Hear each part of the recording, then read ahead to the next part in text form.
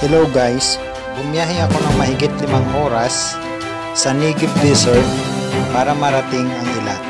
Ilat ay ang southern part ng Israel o pinakaduluduluhan ng Israel sa bandang south.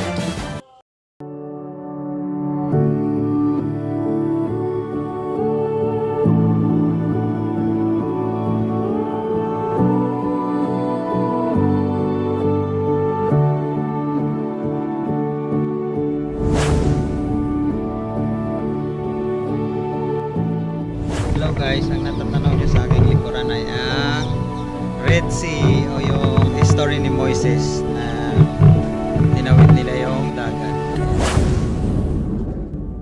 Tell me to calm down. Ngayon ay aking susubukan kung talagang magkakaroon ako ng buntot ng sirena. Nandito ako ngayon sa Red Sea.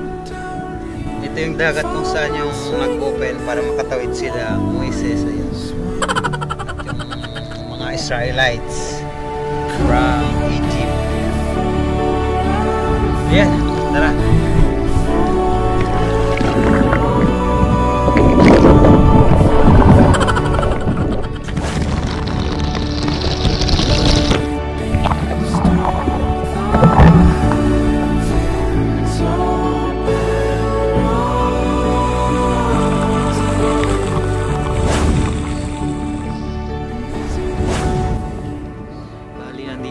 Ngayon sa Ilat.